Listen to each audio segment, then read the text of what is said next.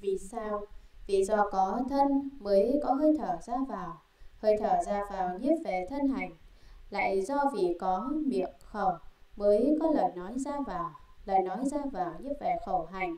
Khẩu hành là do nhân duyên có giác có quán, chưa có giác quán rồi sau mới có lời nói ra vào. Lại vì có thọ có tưởng mới dẫn sanh ý hành. Tất cả các tâm và tâm sở pháp đều nhiếp về ý hành cả. Vì sao? Vì do có chấp tướng tâm mới có các thọ khổ thọ lạc, mới có các phiền não, vân vân. Ý hành do hai chấp khởi sanh ra đó là kiến chấp và ái chấp. Khi ái làm chủ thì gọi là thọ, khi kiến làm chủ thì gọi là tưởng. Bởi vậy nên thọ và tưởng đều nhiếp về ý hành cả. Phật dạy trong 12 nhân duyên có ba hành đó là phước hành, tội hành và bất động hành. Phước hành là hành nghiệp thiện ở cõi dục hay sanh các pháp vô ký, hoặc có báo sanh hoặc chẳng có báo sanh. Tội hành là hành nghiệp bất thiện, bất động hành là các hành nghiệp ở cõi sắc và cõi vô sắc. Nếu rộng phân biệt hết thảy các nhân duyên sanh hành thì có vô lượng thứ hành. Năm thức ấm Nói về thức ấm thì bên trong có sáu căn, bên ngoài có sáu trần duyên nhau, tạo thành sáu nghiệp dẫn sanh sáu thức. Vì lực bên trong mạnh nên thường chỉ nói đến các cần thức là nhãn thức, nhĩ thức, tí thức, thiệt thức, thân thức, ý thức. Hỏi, ý thức là thức, như vậy vì sao còn nói đến ý thức nữa? Đáp, ý có tướng sanh diệt do nhiều nhân duyên khởi sanh ra ý, sau đó ý mới duyên pháp trần khởi sanh ra ý thức. Hỏi, ý trước đã diệt, sao lại còn sanh ra ý sau? Đáp, khi đề cập đến ý phải xét hai trường hợp sau đây. Niệm niệm sanh diệt, tâm tương tục chuyên nhất. Tâm tương tục chuyên nhất này được gọi là ý căn, đường theo ý căn đó mà có ý thức sanh ra. Ý và ý thức rất khó giải, khó biết, nên 96 tà kiến chấp của hàng ngoại đạo đều chẳng có nói đến ý thức đương theo ý căn mà sanh khởi, ngoại đạo chỉ nói ý thức do thần sanh ra. Trong bốn niệm xứ có nói rõ về năm ấm, nơi thân niệm xứ có sắc ấm, nơi thọ niệm xứ có thọ ấm, nơi tâm niệm xứ có thức ấm, nơi pháp niệm xứ có tưởng ấm và hành ấm. Hỏi, chỉ có sắc ấm và thức ấm là tùy thời phân biệt nên có tên gọi khác nhau. Từ đó mà đặt thêm các tên khác như thọ tưởng hành, lại cũng phân biệt có tịnh thức nhiếp về thiện pháp, bất tịnh thức nhiếp về phiền não, bất thiện pháp. Như vậy cần gì phải nói đủ cả năm ấm? Đáp, không thể nói như vậy được. Vì sao? Vì năm ấm đều khác nhau. Mỗi ấm có công năng riêng khác nên phải có tên gọi riêng khác vậy. Nếu chỉ có tâm mà chẳng có tâm sở thì chẳng có thể nói tâm tịnh hay tâm cấu được. Ví như nước trong ao đang trong suốt yên tịnh mà có còn vòi xài dẫm chân khuấy bùn thì nước liền trở thành dơ bẩn.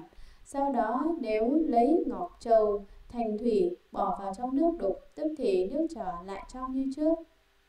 Như vậy, chẳng nên nói ngoài nước ra không có hoa say, cũng không có ngọc châu thanh thủy, cũng như vậy tâm chỉ là một, mà khi quân tập phiền não vào thì trở thành ô trược, khi quân tập từ bi hỷ xả vào thì trở thành thanh tịnh, từ đó mới có phân biệt nói có từ bi, có hỷ xả, có phiền não, có kiết sử. Tuy nhiên tất cả chẳng phải ngoài tâm mà có được. Ngoài ra nếu tâm vốn là tịnh thì chẳng thể có lúc trở thành cấu và ngược lại. Nếu tâm vốn cấu thì chẳng thể có lúc trở thành tịnh được phàm phu chỉ chấp vào các thô tướng của tâm hiển lộ ra bên ngoài mà chẳng rõ được các tâm sở pháp tiềm ẩn ở bên trong. Hết thảy các tâm sở pháp đó đều do năm ấm dẫn sanh ra cả, bởi vậy nên phải biết đủ cả năm ấm. Hỏi, vì sao chỉ nói có năm ấm mà thôi? Đáp, pháp hữu vi vô lượng nhưng Phật chỉ phân chia ra làm năm ấm là đủ rồi. Vì hết thảy các pháp hữu vi đều nhiếp trọn trong năm ấm. Hỏi, như vậy vì sao còn nói đến 12 nhập, 18 giới nữa? Đáp, vì muốn thêm rõ nghĩa mà phải nói như vậy, do sáu căn nhãn nhĩ đĩ thiệt thần và ý nhập với sáu trần sắc thanh hương vị xúc và pháp nên gọi là sáu căn là sáu nội nhập và sáu trần là sáu ngoại nhập cộng có 12 nhập lại nữa sáu căn sáu trần là sáu cảnh giới bên trong tức nội giới duyên sáu trần bên ngoài tức ngoại giới khởi sanh ra sáu thức, nhãn thức, nhĩ thức, tý thức, thiệt thức, thần thức và ý thức là sáu cảnh giới ở giữa tức trung giới cộng có 18 giới. Phật là đấng pháp vương, vì lợi ích chúng sanh mà có khi nói hẹp, có khi nói rộng, có sai khác nhau. Có người ở nơi sắc pháp mà lại sanh tà kiến, lầm lẫn sắc pháp với các tâm sở pháp. Đối với hạng người này, Phật dạy về năm ấm để họ trừ bỏ được tà kiến. Phật lại nói sắc pháp gồm có 10 xứ. Có người ở nơi tâm sở pháp mà sanh tà kiến về sắc pháp, không rõ được sắc tâm. Đối với hạng người này, Phật dạy về các tâm sở pháp lại nói sáu căn sáu trần và sáu thức dung hợp thành 18 giới. Có người chẳng biết thế gian là khổ, chẳng biết các pháp là sanh diệt, chẳng biết tu đạo. Đối với hạng người này, Phật dạy họ về bốn diệu đế, nói thế gian là khổ, nói ái cùng hết thảy phiền não là nhân duyên sanh khổ. Nói khi nhân duyên phiền não diệt thì khổ tự diệt, nói khi phiền não đã tận diệt thì được đạo. Có người chấp vô ngã nên ở nơi các pháp khởi sanh tà kiến, chấp chẳng có nhân chẳng có duyên. Đối với hạng người này, Phật dạy về 12 nhân duyên. Có người chấp hết thảy các pháp là thường, khi diệt trở thành vi tế pháp chẳng phải thành không. Đối với hạng người này, Phật dạy họ, hết thảy pháp hữu vi đều là vô thường, do năm ống hòa hợp mà có, chẳng phải là thật có, bởi vậy nên gọi là pháp hữu vi. Hỏi, Người tu phải quán năm ấm theo thứ lớp như thế nào? Đáp, người tu trước hết phải quán thân là bất tịnh, để rõ biết về vô thường, khổ, không và vô ngã. Vì sao? Vì người thế gian thường chấp thân là hơn hết. Bởi vậy phải quán nơi thân có vô lượng thứ khổ như khổ sanh, khổ già, khổ bệnh, khổ chết. Phải quán ở thế gian vui ít, chỉ có trong chốc lát mà khổ thì vô lượng. Do tâm của chúng sanh chấp tướng, của cảnh giới sáu trần là thật có, nên mới khởi sanh vô buồn, thương ghét, vân vân. Mà biết tư duy, tầm cầu các lạc thú ở ngoại cảnh. Do cần xúc trần khởi sanh thức, lại do thức phân biệt có khổ lạc, nên mới sanh tâm đắm trước các dục lạc ở thế gian. Đây chính là nhân duyên sanh khổ. Lại vì nhiễm trước dục lạc mà khởi sanh ra ba độc tham sân si, dẫn đến hành động tội lỗi. Thần thức chủ động trong việc thọ dụng dục lạc vì năm dục nhiếp phải sắc ấm, sắc ấm là căn bản dẫn đầu trong năm ấm. Bởi vậy nên trước phải nói về sắc, tức là nói về sắc ấm thân, sau đó mới nói về thọ ấm, tưởng ấm, hành ấm và thức ấm. Sau khi nói về năm ấm xong rồi mới nói về 12 nhập, 18 giới, vân vân. Tóm lại hết thảy các pháp hữu vi đều do năm ấm thứ lớp sanh ra. Hỏi phải tu như thế nào mới được giải thoát? Đáp, nếu biết trở về với thiện căn, biết rõ hành và thức là chủ trong sự thọ khổ thọ lạc, thì sẽ hưởng được thượng diệu lạc. Vì sao? Vì khi quán thần bất tịnh, rõ biết vô thường, khổ, không, vô ngã, thì ý thức sẽ được tỉnh giác, sẽ nhập vào cảnh giới vô vi vô lậu vô trú, tức là nhập vào trong tánh bình đẳng của Pháp giới. Với Pháp tu bốn thánh đế, hành giả sẽ được tăng trí huệ, sẽ diệt được thức phân biệt, sẽ thấy rõ 12 nhập 18 giới, cùng hết thảy các pháp hữu vi đều là như huyễn như hóa. Do vậy mà chuyển được thức thành vô vi, vô lậu thanh tịnh, lại do biết năm ấm đều do tâm tạng, đều là chẳng thật có, dẫn đến rõ biết hết thảy pháp, đều vốn là tự tánh không vậy. Hỏi, như vậy, ai là người biết rõ tánh không của các pháp? Đáp, chỉ các bậc thánh mới biết rõ như vậy. Trong kinh có nói đến ba bậc thánh, bậc thượng, bậc trung và bậc hạ. Phật là bậc thánh chủ. Vì sao? Vì Phật là bậc nhất thiết chủng trí. Pháp Phật thậm thâm vi diệu, người y theo pháp đó mà tu hành sẽ được thánh quả.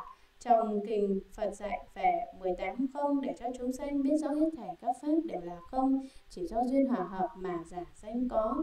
Hết thảy các sắc pháp cũng như phi sắc pháp đều là không, do muốn phá sắc mà phân biệt, chia văn trẻ sắc, cho đến vi trần. Thế nhưng vi trần cũng là không là bất khả đắc bởi vậy nên biết rõ hết thảy các sắc pháp đều là không là bất khả đắc lại nữa niệm niệm sanh diệt cũng là không là bất khả đắc bởi vậy nên biết rõ hết thảy các phi sắc pháp cũng đều là không là bất khả đắc mặt khác nên biết rằng các pháp đều là tận không đều chỉ có nơi danh tự, mà danh tự cũng do nhân duyên hòa hợp sanh nên cũng là không, là bất khả đắc.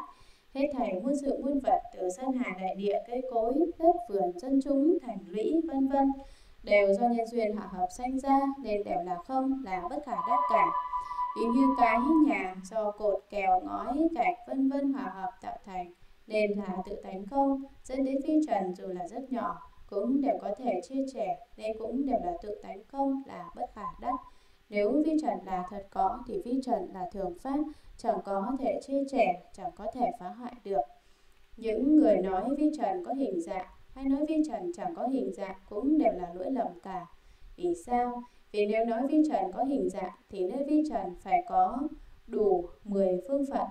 Nhưng nếu đã có 10 phương phận, thì chẳng thể là vi trần được, trái lại nếu nói vi trần chẳng có hình dạng thì làm sao có sắc được? Ly nhân duyên và danh tự, thì chẳng sao có được các pháp. Thế nhưng nhân duyên và danh tự đều là không, đến hết thảy các pháp cũng đều là không cả. Hỏi, nếu nói các pháp đều là không thì do đâu mà có danh tự?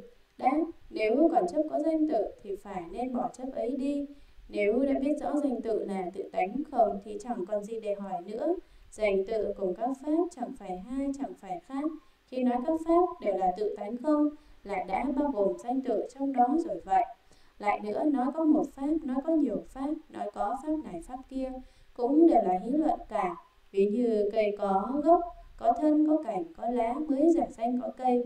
Nếu chẳng có pháp cây, thì chẳng có sự hòa hợp của các pháp cây, thì chẳng có sự hòa hợp của các pháp gốc, thân, cánh, lá. Hết thảy các pháp đều là không, nếu có nói ra là có hiếu luận, nhưng nếu chẳng dùng ngôn ngữ để nói ra thì chẳng sao có thể làm cho chúng sanh biết được rốt giáo pháp không đó cũng là không.